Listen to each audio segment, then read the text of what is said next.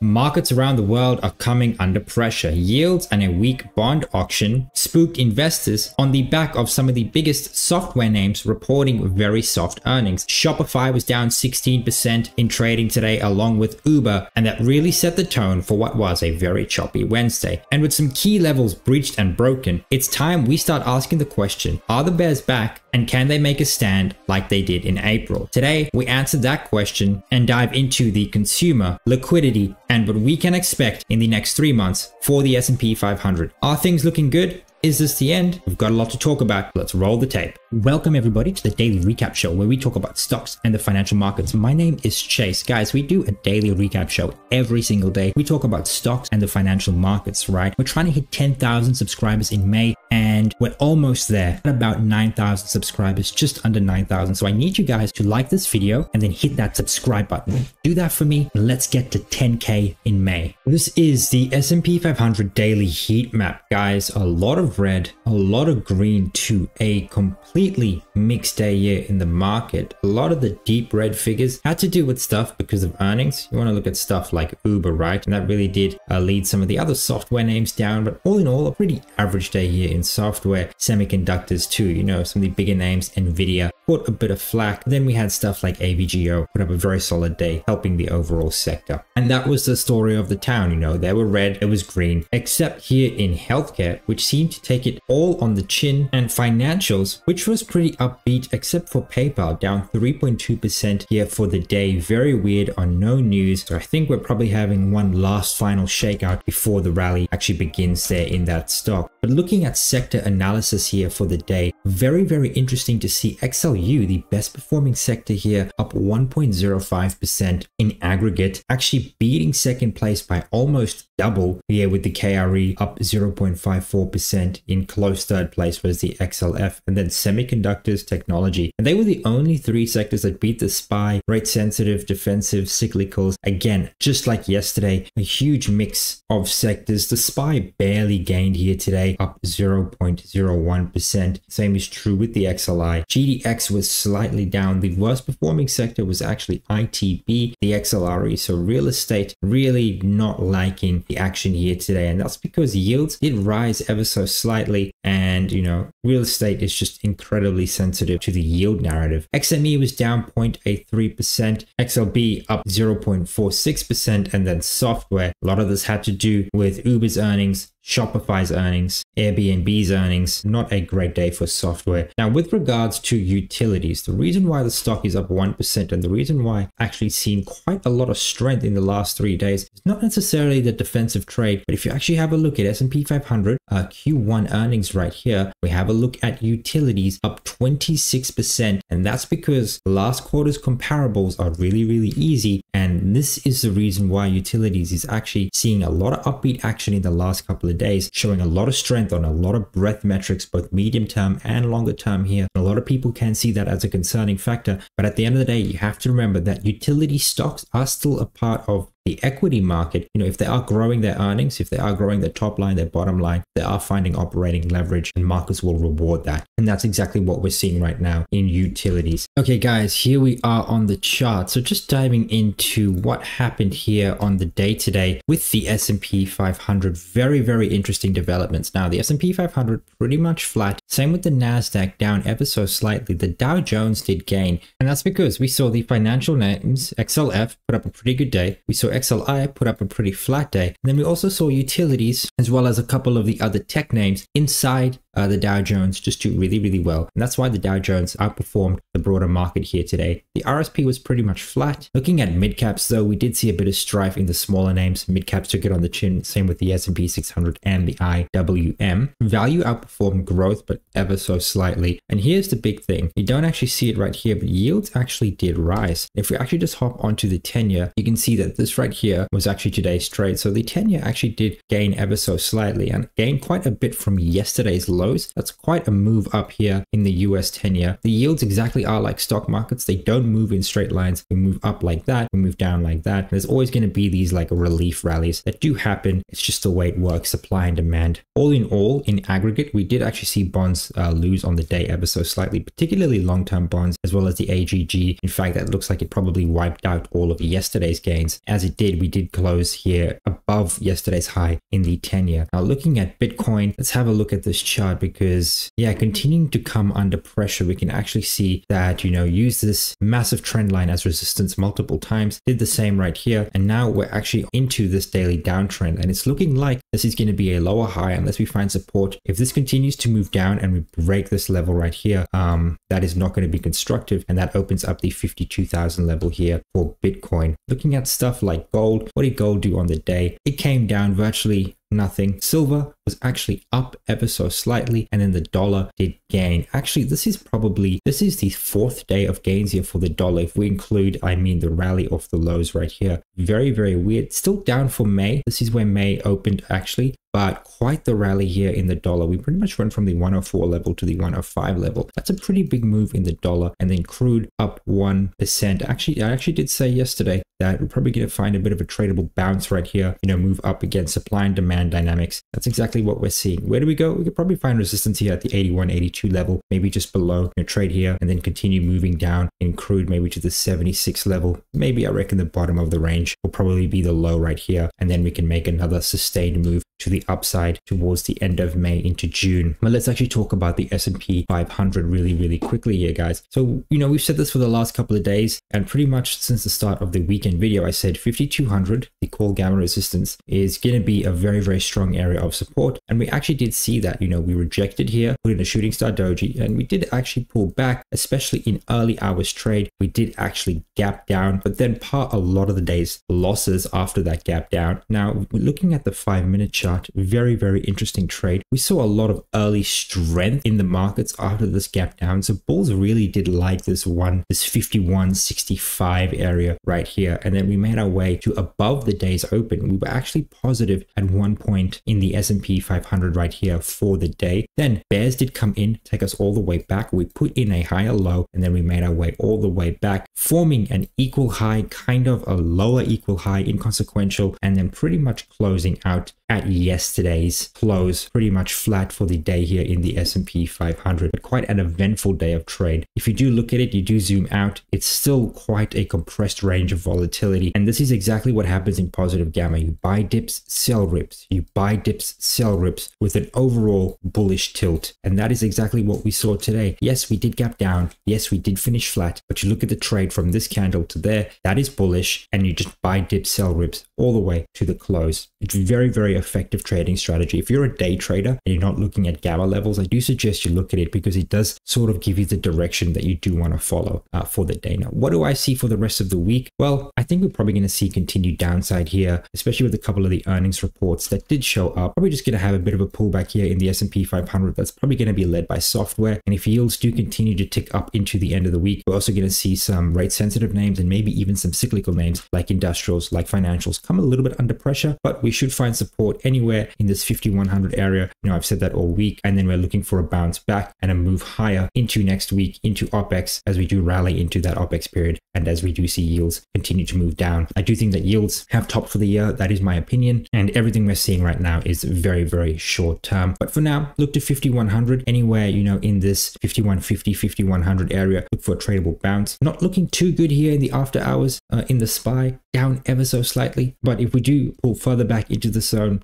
that's completely normal. But if we actually do a rally, uh, you know, do expect resistance to come at 5200. It's going to be very hard to break this 5200 area without the call gamma resistance moving up the tape. So I do think that we're probably at the interim high here. We might go to like 50, 52.25. We might go to this high pullback right there. That can happen, especially if we like just gap up over this level. Do expect like a, a bit of resistance to enter this level, especially leading up into the OPEX next week. And only until a lot of this gamma rolls off the tape, that's when we can really break through these levels, move higher, and then look to all-time highs in the S&P 500 beyond OPEX week after next. Now guys, before we get into earnings, I just want to show you a very quick statistic that I showed you guys towards the end of April here at the start of May. And I just want to quickly roll back to it because when we do get stats like these, they tend to be high probability setups. And we are starting to see that here in the month of May. Now this is the S&P 500 after the first negative month following a turn of the year hat trick. The TOY hat trick is defined as when December, January, and February was all positive, and then when we get the first negative month. Now that could be in April, July, it could be in March, it could be as late as August, but these are the returns after the first negative month, one month later, three months later, six months later, and then the max drawdown in each scenario. And the reason why we looked at the stat is because April was the first negative month after the turn of the year hat trick. We could see here that one month later, 21 wins, four losses, 21 and four, average return 2.54%. Three months later, 20 and five, 4.1% return, 3.18% median, and then six months later, 22 and 3, 8.5% average return, 6.84% median. So essentially, when we do get a negative month after a positive turn of the year hat trick, we don't want to get ever more bearish. In fact, we do want to get bullish and we do want to buy those dips in that month because one month, three month, and six month returns are often very, very positive. And you also have a look at the max drawdown. Yes, there are a couple of double digit drawdowns here, but do take that with consideration that there's a ton that have zero. In other words, from month one, day one, we're pretty much rallying off that month's lows and we never saw a drawdown in that month. Look how many zeros there are. There are a ton of them. And there's a lot of drawdowns that are just like 1%, 1.24%, 2.4%. And yeah, there are double digit drawdowns, but you have to look at it in aggregate. Very, very positive statistics, highly favorable stats here for the bull. Let's talk about earnings. So we have another big day of earnings. We had Shopify, Uber, and Affirm will report before the bell. After the bell, we had Wish, AMC, Robinhood, Beyond Meat, The Trade Desk, Airbnb. And today we're going to look at two of the big ones, Shopify and Uber. Okay, looking at Uber's earnings, guys, bit of a bit of a disaster here. Uh, missed heavily on EPS, negative EPS here for the quarter, negative earnings. Market was expecting uh, 0.22, so a big, big miss here on the EPS side. Market did not like that, but they did beat on sales. So we need to, there's something happening in the cost situation there for Uber. Maybe it's some of these wage, minimum wage hikes that we're seeing in like California on the West Coast that could be impacting this and just around the world. We do know that Uber's dealing with a, a lot of like strikes from taxi drivers and maybe some legal issues issues. That could be the reason. So sales looking good, earnings not looking that great. And we also saw they missed here on gross bookings. They missed here on monthly active users and guidance, gross booking guidance, 39.5 billion. Market was expecting 40 billion. So, you know, you miss on EPS right here, barely make revenue, and then you miss on uh, guidance as well. The market's going to sell you off. The stock was down 6% in the pre market at one point. I think at one point it was down nearly 9%. But other than that, overall, looking at the, the numbers itself, very, very average. I need to dive a bit deeper into it, but looking at Uber's fair value, guys, so they did print $4.2 billion of free cash flow. If we use a 25% growth rate, by the way, the street's expecting about 42%. This right here is very conservative with an 11% discount rate, 2% perpetual rate. We're looking at a fair value of Uber here of 78.78, 16% under its fair value. Its current price, at least in the pre-market, all of these segments were recorded in the pre-market, the earnings segment, $65.52. So yeah, 16% under fair value value, that's the cash it used on hand, that's its total debt, that's the shares outstanding as per the latest quarterly. So is undervalued, but Uber did get a little bit more expensive uh, just based on the guidance and its future outlook. Now, looking at Shopify,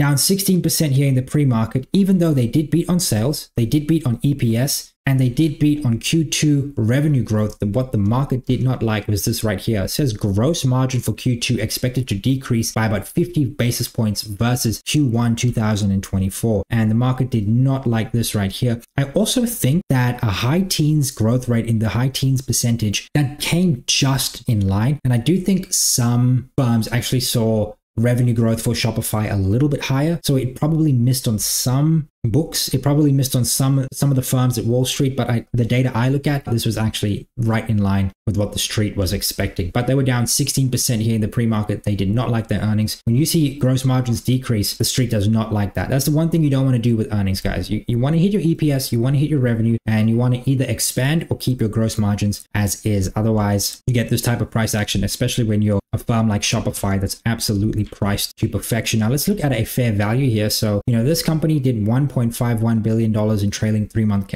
free cash flows. This is all based on the recent quarterly guys. 2% terminal, 11% discount. You know what I usually do. 35% growth rate. By the way, the street's expecting 98% here for earnings over the next five years. That's compounded annually. So 35% growth rate, quite conservative. And you can see a $5.8 billion in cash, a billion dollars in debt, $1.29 billion shares outstanding. Fair value is $50. The stock is trading at a 26% premium to its actual price. So, you know, if this does dip into the 50 range, I think it's time to start accumulating. Also, I did look at the overall earnings and there wasn't anything structurally bad with Shopify's earnings. I think the reason why they're having margins uh, contracting is simply because of their freight business. They have a freight business that they're selling, and that's affecting EPS and adjusted EPS. And I think the street also had a bit of an overreaction to those adjusted numbers, and we might see the street come to terms in the next couple of days. So, you know, I think, you know, down 16%, we might actually see a bit of a tradable bounce in the next couple of weeks. But, you know, fair value here for me is $50. I mean, this is a lot of margin of safety is built into this price. You can actually increase the growth rate quite significantly, to be honest, and you should actually get much higher fair value. You could also put the discount rate at like 10. It's only got a billion dollars of debt, not a handful of debt relative to the cash on hand and relative to just overall revenue. And yeah, 2% terminal rate is pretty standard across the industry. So yeah, lackluster earnings. Look, Shopify's earnings weren't bad. Again, the underlying earnings weren't bad. It just had to do with guidance. That was the real issue and just some accounting measures with the sale of their freight business. All right, guys, let's talk about the earnings recap. We're probably going to stop doing these over the next couple of days because earnings is winding up. You can actually see right here, 424 out of the 500 companies have reported. So we pretty much got all of the data we need to. We just have stuff like NVIDIA, Costco, a couple of the software names later this week uh, to bake into these earnings. But where we are right now, there's not going to be much deviation unless NVIDIA comes with a huge beat or huge miss because it does account for quite a bit of earnings, at least here in 2020. 2023, but things are looking really, really good. S&P 500 blended earnings is sitting at 7.8% right here, excluding energy 10.9% with this weird BMY adjustment, which is just a $12 billion one-time charge related to the acquisition of Karuna Therapeutics. We're also sitting at 10.9%. If we just exclude this charge and include energy, we're sitting at 10.9, double-digit earnings growth here on a percentage basis. And at the start of earnings season, the expectation was 3.5%. So huge beats on the earnings side as well as revenue. 3.9% here on the revenue front, 3.5% expected at the start of earnings season, 4.2% here excluding energy. And this right here is part of the reason why we've had quite a run up in the last three to six months. The fact is earnings are really, really good. And this is just some data here from Carson Research, guys. They say that returns are mostly driven by earnings over the long period. So they have five years, 2020 to 2024, at least up until the 3rd of May. And you can see right here, earnings growth, multiple multiple growth, dividends, and then the total return. So since 2020, and do take into consideration, we actually had a bear market in this period. The S&P 500 has returned 70% in this four and a half, five year period. 50% of it was driven by earnings. 12% of it was actually driven by multiple growth. And then 9% of it was driven by dividends. I wish that we put buybacks in here, but I guess that's actually baked into the total price return driver as well as earnings growth. And you can actually see that we do go through cyclical periods where we have multiple growth as the major driver of returns and then earnings growth. So we see multiples expand and then earnings to compress those multiples. And now we're in 2024, earnings are expected to accelerate. They are coming in really, really good. And that's why the index is holding its gains. And you can see that in totality, the majority of returns since 2020 has been from earnings. So disregard anything that's saying this is a multiple expansion rally. That simply isn't the case. Now, looking at the rest of the world and not just the S&P 500, now it's really hard to actually get the data from all of these countries, but I've gone ahead and found some here from LSEG. So essentially, this is just the first financial year growth. So FY1, so financial year one is 2024, and then financial year two is 2025, right? So we could see that Canada expected to return double digit growth here in financial year one and two. Very, very interesting. That puts the PE valuation at 15.4 13.3 and the revision trend looking very, very healthy. Now, I'm not going to go through every single data point right here, but I do want to go through a couple that might be of interest. The first one is Germany. Look at the German growth 9.2% this year, 14% next year, trading at an 11.9 forward 2025 PE. Look at Japan, double digit growth for both years 17%, 10%, trading at a nearly a 15x PE 2025 and still a reasonable 2024 PE. The United Kingdom is expected expected to accelerate. This is literally an emerging market multiple at 11 times earnings. Let's look at Australia. 8% growth year in 2024, 10% expected next year, trading at 18 times, 16 times. So very, very pricey, especially with the fact that where earnings are expected to decrease by 8%. Look at China, 29% earnings growth this year, expected 17% next year. The recovery is well underway. Look at these multiples. This right here, if you can stomach the China risk, the CCP risk, you're looking at a very, very very good uh, index that you'll be buying growth at not a reasonable price, growth at a value price. But the earnings revision trend does look uh, not that great. So probably if anything, these are going to move lower and they are going to move higher. Whereas you look at something like the United States, 1.15, 1.05. So the, revi the revisions momentum is to the upside. But you guys can go ahead, have a look at all of this very interesting data points right here. And it does look like globally earnings are expected to accelerate. I mean, apart from like Australia, Belgium here in 2024, they're the only countries where earnings are expected to decline. Every other country is expecting earnings growth here in 2024 and 2025. Now, looking at the US more specifically, looking at mid cap growth, small cap growth, SP 600, SP 400, and then the Russell 2000, guys. Very interesting data. We don't always get this data. So when we do, we have to look at it. And we can see here in the first quarter 2024, earnings growth for the uh, mid cap index is actually negative 5.58%. The second quarter, we're looking flat. And the second quarter here is when we're looking to inflect major earnings growth to the upside for mid caps. So now's the time to get into mid caps if you haven't already, because we have earnings uh, down, down here, flat, and then we inflect here with 8% growth, 12% growth, 1.6% growth for the full year 2024. And then we have 16, 19, 17, 16% growth in 2025 for a full calendar year expectation of 16.08% growth. And that would put the S&P 400 trading at a 13 times multiple on CY25 earnings. Very interesting. And on CY24, 15.9. That's just calendar year, by the way. Small caps, very similar situation. The inflection point here is in the second quarter 2024, and then it's double digit growth all the way until the fourth quarter 2025. And right now on 2024 earnings, the S&P 600 is trading at 15 times and 12.6 times on 2025 earnings. And then the Russell 2000, this is where it gets a bit spicy. And this is why I kind of recommend getting into small cap quality, the S&P 600 versus the Russell 2000, because earnings are a bit of a shit show, but they are expected to improve in a big way. But this index is trading at quite the high forward multiple. Now, let's dive into it. Negative 12.35% so far. And by the way, the Q1 2024 earnings are blended earnings. So the companies that have reported and they're expected to report, this is what's here. And then the rest of them is just forward expectations. The second quarter is expected to be 1.34% earnings growth. And then we are expected to see huge growth here in the Russell 2000, 21% growth, 49%, 19%, 66%, 50%, 36%, 35%. And I think what the market is waiting for is some of these quarters to materialize. They want to see if these earnings are just euphoric expectations from analysts or if they will actually materialize. And if they do, we are going to see the Russell rally like you've never seen, especially if we are to achieve, you know, 49%, 19%, 66% earnings growth in a single quarter year over year. But right now, as it stands, the Russell 2000 trades at a 25.4 PE and on CY 2025 earnings 19 times. So the market is in a wait and see mode here for the Russell 2000. Guys, if you are looking to buy an index that's not the S&P 500, I would probably look here at mid caps. It's trading at roughly the same multiple as the S&P 600, but you just get higher quality, bigger companies in the mid cap index. Now looking at buybacks really, really quick. This is corporate buybacks are now above seasonal levels at this time for the ninth consecutive weeks. Buybacks by BofA Corporation clients as a percentage of S&P 500 market cap by the week of the year. You can actually see we're above the seasonal trend level we have been for quite a number of weeks here. And this gray period right here is earnings season. It often coincides with a blackout period.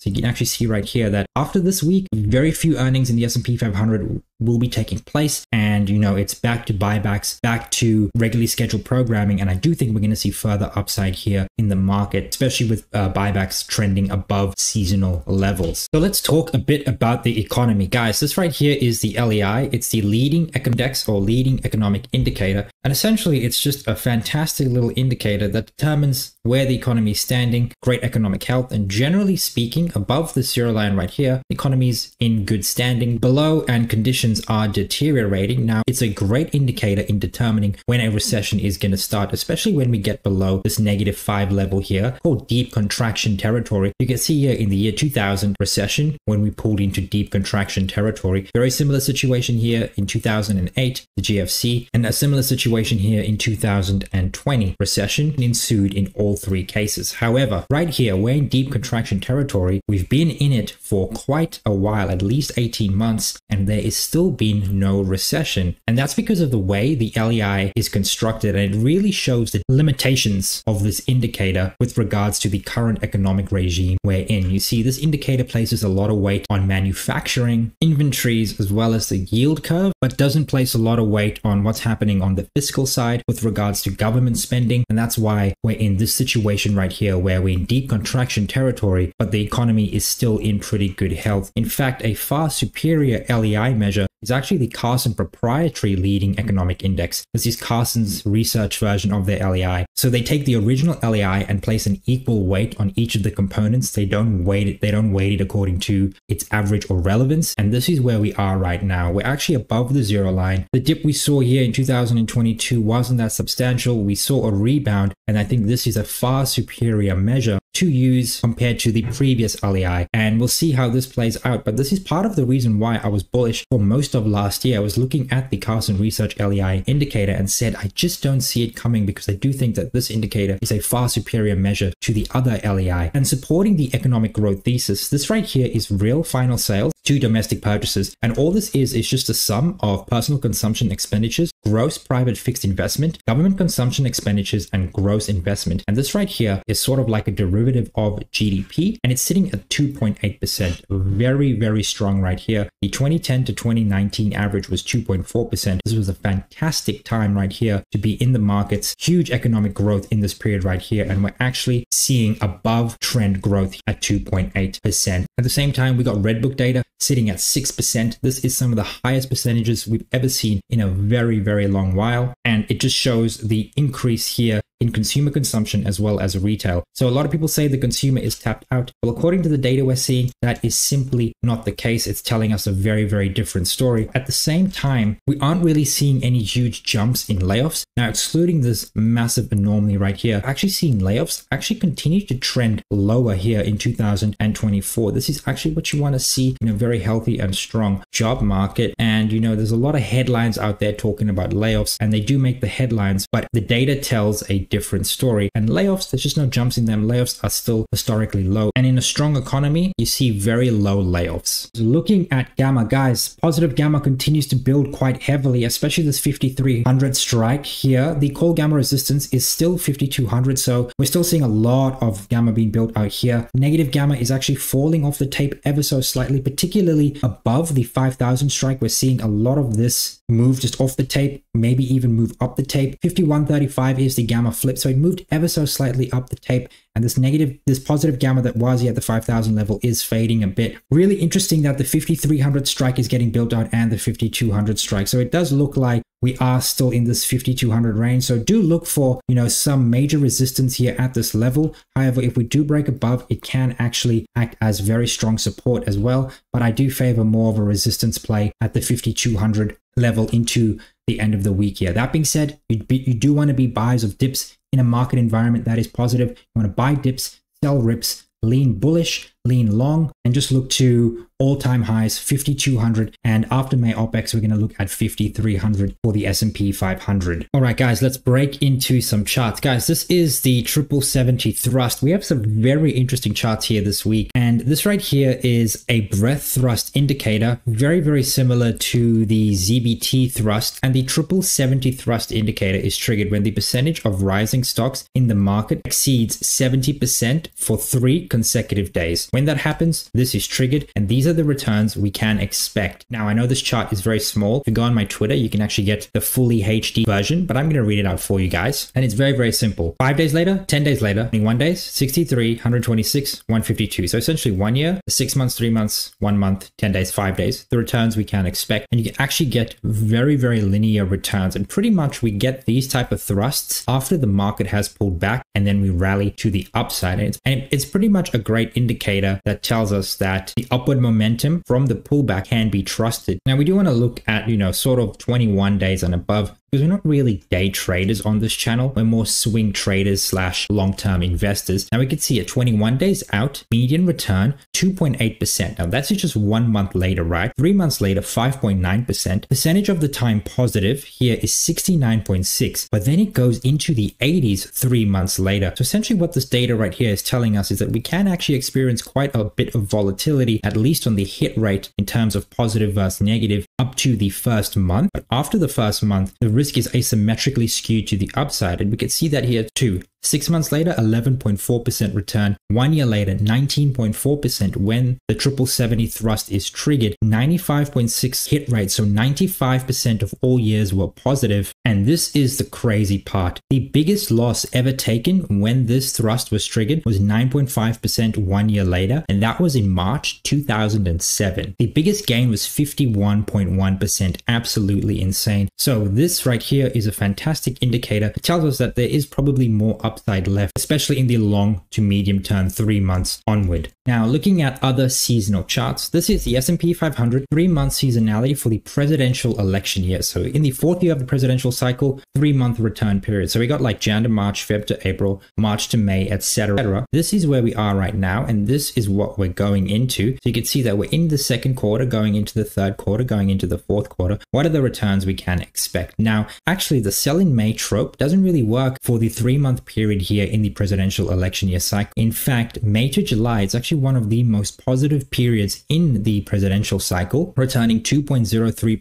62.5% of the time it is higher. Very interesting stats. We then actually move from June into August, the most positive three month period in the presidential election year, returning on average 7.27%. Then we have July to September, 5.21% return. And again, 75% hit rate here, June to August, 62.5% hit rate from July to September. We do get a bit of volatility here in August to October, September to November, and then we get outsized returns from October to December, November to January, and then December to February tends to be quite lackluster, but positive nonetheless. Now, with regards to the volatility we see here in August and October, it is actually still positive months, don't get me wrong. It's just that the hit rate is not quite that high, relatively speaking, to a month like this. But this is only a presidential election year. If we actually go to the three month seasonality of all years, going back to 1928, we can actually see very linear returns over a three month period. And this is why it always pays to be invested. It always pays to be bullish. You could see Jan to March, Feb to April, March to May, April to June, May to July, June to October, and July to September all return upward of 1%. As you can see right here, in some cases, 2% and June to August, a 3% return, 64.6% of the time higher. Very positive stats when you look at this, the best three month period in the year. We then do get a bit of volatility from August to October. So this is really when you want to sell. And it's roughly the same time we experienced volatility in the market last year. We actually bottomed on the 27th of October. We normally return negative 0.14%. 54% of the time is a positive period. And then we actually get amazing returns towards the end of the year,